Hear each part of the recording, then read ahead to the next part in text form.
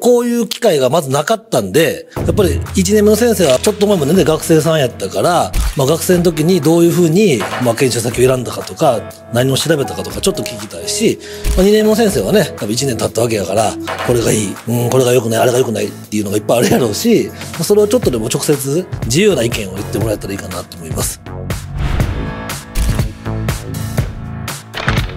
ちょっと変えてくれとか、なんか一言言いたいとか、もうそそっちをせっかくやから、これはもう自由に挙手制でいいですよ。はい。食堂が、うん。食堂があの僕的にはめちゃめちゃうまいし安くてすっごいありがたいんですけどいかんせん2時までじゃないですか。オペに入るとほぼ 100%2 時にはたどり着けなくて。せっかくこう理事長のあのサラダバーがあっていや今日なんか僕本当に3ヶ月ぶりぐらいに食堂に行ってちょっとサラダバーのありがたみを実感したので例えばお弁当をこう事前に申請しといてあの購入できるシステムとかあったら、うん食堂で定食食えなくてもそのお弁当が食えるよとか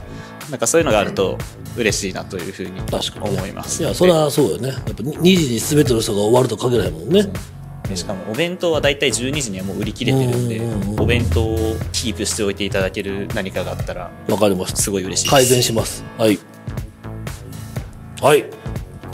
シートのトイレがいかにも古い感じなんでピカピカのトイレがあれば嬉しいなってシートのトイレってまだマシじゃないですか？えエリートかな、えあの乙姫とかつけてほしいあ、そういうことね。はいはいはい。お願いしますまあ、ふ 付け加えることはまあ比較的できるんじゃないかな。じゃあそれはちょっと検討しましょうね。うん、確かに。あの僕ちょっとずっと理事長に言いたかったことがあって、あの研修医を TikTok で踊らせるのはやってその踊りたい人が、まあ、前に出て踊るのはいいとして、まあ、全員ちょっと一緒にっていうのはやめていただきたいですいや、俺もめっちゃ反省してんねん。ごめん。謝りの踊りをするわ、俺だけ。だったらいいですごめんな。ありがとう。それはアップされてるんですか？はいされてます じゃあ先生のとかちょっとモザイクかけよう。いや僕出てないんですあ、出てないんか。出てないんかい いや次やったら嫌やなそうやな、代表の子やからな。そうやな。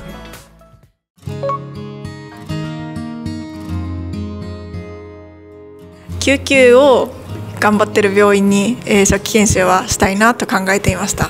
そこで音羽病院3次救急もやられてるんで見学させていただいたら研修医の先生がお一人で、まあ、相談はしながらなんですけどほぼ研修医の先生が中心に救急をやられているのを見てここで勉強したら自分で3年目以降も相談された時にしっかりと答えられるようになるかなと考えてこの病院を選ばせていただきました。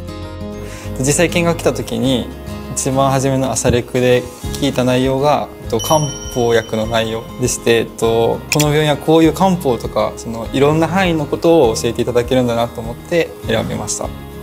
えー僕大学がまあ北海道やったんですけど、まあ、その北海道にいる時に実習期間中に、まあ、その研修先どうしようかなみたいなことをその仲良かった10年目ぐらいの歯医者の先生に相談したら私の同級生京都にいるからなんか連絡してあげるみたいな感じで東亜病院紹介されてとりあえず春休みに行ってみたらなんかその学変継承の,、まあその骨切りですね。いわゆる歯医者が歯じゃなくて顎切ってるみたいななんか結構衝撃やったんです。北海道のいろんな病院とか見学行ってたんですけどそういうのは全然もうそんな症例なくて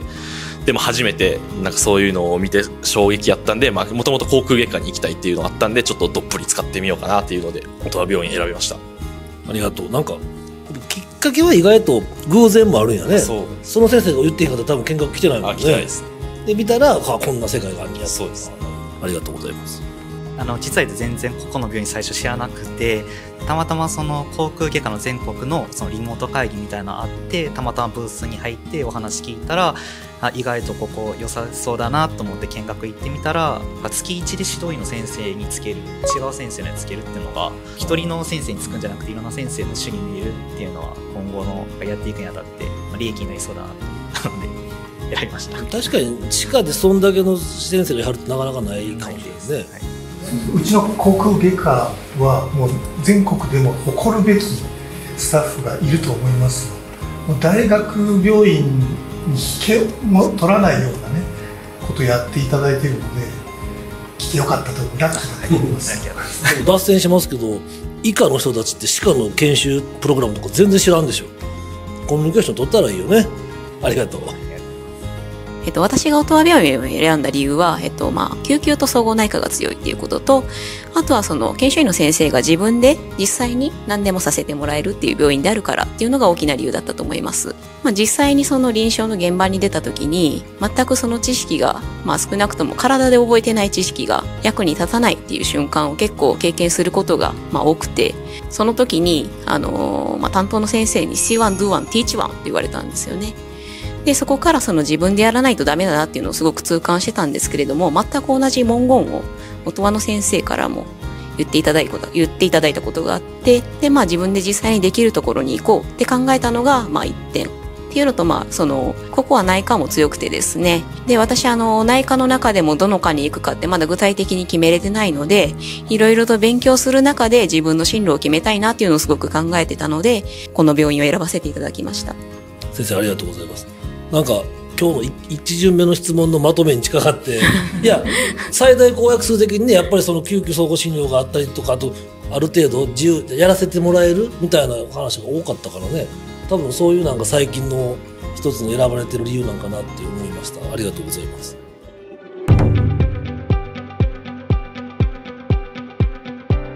僕は、えっと、整形脂肪で結構整形脂肪ってどの回行っても整形やからこんなこといらんよって言われるんですけどまあ一応全部を見れるようになりたかったので1年目は、えー内科を中心に回らせていただきました。で、えっと、今年は整形を7ヶ月回ろうと思っていまして、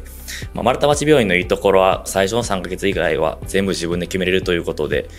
えっと、最初の3ヶ月以外は内科を回らせていただいて来年は整形中心に回ろうと思います。プログラムも決まってないので、あの、どのタイミングでオタワ病院さんにお邪魔させていただくこともできるので、オタワ病院に回ってよかったなと思うのが、最初の1年目で放射線科に回ることができたことが、後々救急回る上で、あの、画像を読む自信につけたので、そこは、えっと、プログラムが決まってなかったことの良さかなというふうにも思います。まあ希望としましては、その、オトオタワ病院さんも、その最初の数ヶ月、あの、1年目のどっかで希望の科回れたら、より良いログになるのかなというふうに思うので、そこら辺検討よろしくお願いいたします。ありがとう。でもあれらしいな。丸太町は整形志望の先生送信は結構大変なんやろ。最初の3ヶ月でその家族さんへの IC とかも自分でしなくてはいけなくて、まあ、そのやっぱそうするためにはやっぱ上の先生ともうひたすら夜まで残って話こう話し合いますって言って想定される質問を自分で考えて全部考えた上で電話とかしないといけないので結構最初は厳しかったです。てかだってほら整形外科の先生とさ総合診療の先生ってほとんど対局ぐらいいる先生やからさ結構しんどかったですけどやっぱり回ってよかったなってかなり思います。ありがとう脂肪科としてはあの1年回ってあの小児の心臓の方行きたいなと思ってたんですけどあの最後に回ったちょっと外科がちょっと楽しすぎてあの惑わされているという状態です。で ただ2年目に回る科としては結局この2年間でやりたかったあの、まあ、救急の力をつけたりとか内科管理の力つけたりとかがあのこの2年間の目標だったので、まあ、ローテーションはあんまり変わらずあの丸太町にちょっと2ヶ月間お世話にならせてもらったりとかあの地域研修もちょっと長めに回らせてもらってあの、まあ、検査とかあまりできないところでちょっと内科の、まあ、診察法とかたくさん身につけたりとか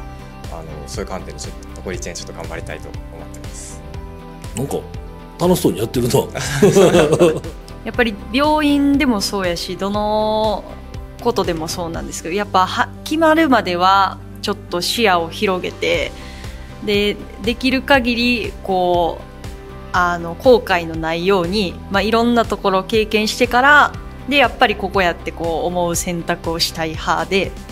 でなんであの私は去年の9月ぐらいから循環器内科の2ヶ月除いて今年の7月までずっとオペ室に います。でいろんな顔を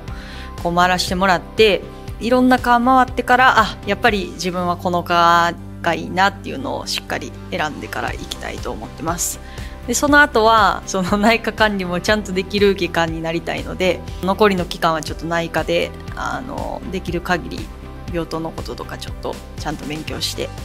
進んでいきたいと思います。ありがとう。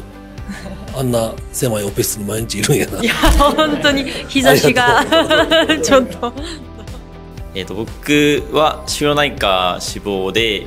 まあ、腫瘍内科がここにあるっていうのが、まあ、一つその来た理由ではあってただまあ緩和もしたいと思ってるんですけど、まあ、そういうのもあって、まあ、救急もしっかりしてますし内科もしっかり育っていって教えるのは好きな指導員の先生がいっぱいいるってことで来たんですけれども、まあ、実際ローテーションを回ってみても指導員の先生方は結構熱心に指導はしてくださいますし、まあ、やっぱり先生によって指導のスタイルも違って熱心に教えてくれる人もいるし自由にやっていいよただちゃんと見てるよっていうタイプの先生もいて、まあ、それがすごいいいなと自分では思っていてやっぱりその同じような指導スタイルじゃ分からないできないこととかもやっぱりいろんな先生とから教えてもらうことによってバランスよく身につけていけてるなっていうのがあるのでそれはすごいいいなと思っています。あと科によっても、まあ、自分でも IC までしていいよとか家族さんにも説明していいよっていう科もありますし、まあ、そうじゃない科もあるんですけれどもそこもなんか今まで学んできたことを活かせるっていう意味ではいいのかなというふうに感じています。ありがとう。先生はあれもね家がお寺さんやったっけ？ああそうです。そういうちょっと特殊なバックグラウンドやもんね、そうですね。ね。それもあって腫瘍内科と緩和を目指してはいる、いやそういうそれそれで面白い面白い。そうなんですよ。ありがとう。ありがとうございます。将来お坊さんにならなきゃいかんわけじゃない。ああお坊さんになります。ほら。はい。なります。はい。キャリア新しいキャリアパスは。そうですね。ちょっと道を開いていければと思いますどこに行っても応援してるよ。ありがとうございます。ありがとうございます。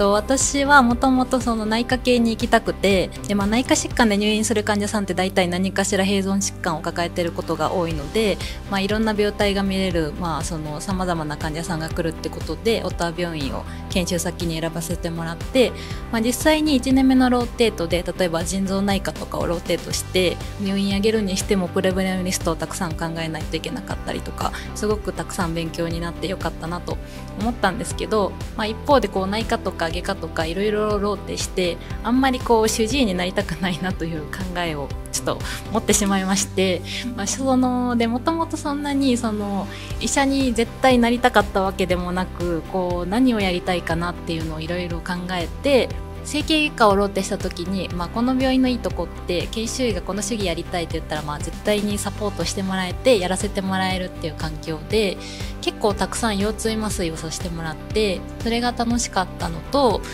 いろいろそのどの科に進もうかなって考えた時に例えば皮膚科とか耳鼻科とか形成とかまあマイナー系の科もいろいろ調べたんですけどそのマイナー系の科ってこう地域を選ぶとシーリングが結構激しくってで、まあ、病院によっては専門医の試験の締め切りが一時締め切りが4月中旬とかでこう実際にローテしてない状態で選べないなと思って、まあ、結局麻酔科を選ぶことにしました。なので、まあ、もし、まあ、今後あるとしたらその1年目からあの選択科目とかを選べる期間がどこかしらにあってもいいのかなと思ってます。ありがとうございます。えっとまあ、僕は相当な異端児なのであの法医学志望っていう多分 あの音羽病院でも多分今まで見たことないっていろんな先生に言われてしてますけどもともと法医学はやりたくてでも法医学やるにあ際してもしっかり臨床やりたい。で臨床の研修がちゃんとできる病院っていうので探させてもらってで、まあ、音羽にたどり着けたという。で運よくというかあの採用していただけたので働かせていただいてるんですけども。まあ、その法医学で行くにあたって3年目から法医学っていうのも一つ考えてはいるんですけれどもそれ以上にやっぱりさすがに初期研修、まあ、1年間やってきてあと1年で自分臨床やってきたよってこう自信を持って言えるかなっていうと、まあ、ちょっとさすがにそんなことはもう全然ないのでやっぱり専門医取るぐらいまではあの臨床しっかりやろうかなっていうのが、まあ、今考えているところです。ありがとうございますもう警察泣いて喜んでると思って 話聞いたら別に内科官って法医行ってもいいと思うよ。あの一人外科医で随分年いってから法医進んだ友達っていう加工外がいるんだけどいや最初から行ったらよかったと言ってるぐらいだ。からあうんやってみたら面白い。はい。ありがとうございます。でもやっぱ本当幅広いよね。先生みたいな法医学志望からお坊さんまでね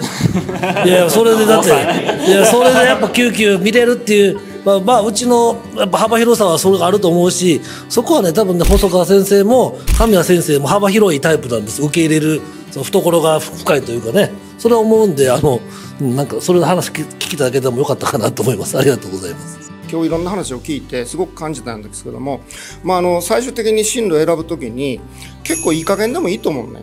でちょっと立ち止まった時に方向転換あるのね。あの君言ってたみたいにその腫瘍内科とか血液内科から緩和っていうのはすごくいいと思うし。人生なんてねそんなもんなんであんまり真剣に考えるよりは目の前にあることをきちんと片付けていったら気が付いて10年経てばめちゃくちゃ大きくな育ってるということが非常に多いと思うのであんまりあの選ぶ時も気にしなくていいと思うよ。どこ行ったってすること君らがしなきゃならないこと勉強しなきゃならないこといっぱいあるからな。安心してやってみたらいいと思う、まあ、だからそういういろんなことがあるからあんまり慌てんとやりね。ね。ね。一人一人やっぱり個性的な言葉があってすごくねあの楽しかったですね。話を聞いてて。私としては院長としてですね皆さんがここの環境にいてお楽和会や小田病院丸太町病院の、まあ、環境にいて成長していけるようなそしてまああのバーンアウトしないようなで楽しいでやりがいを感じられるような環境をどうしたら作れるだろうかっていうことを常に考えています。そういう場が作られるように私は頑張っていくし、で皆さんからのフィードバックも必要ですから、ここはこう変えてほしいとかね、あの、ぜひ言っていただいて、あの、一緒に、あの、いい学びの場、成長の場っていうのを作っていけたらいいなと思いますので、これからも一緒に頑張っていきましょう。よろしく。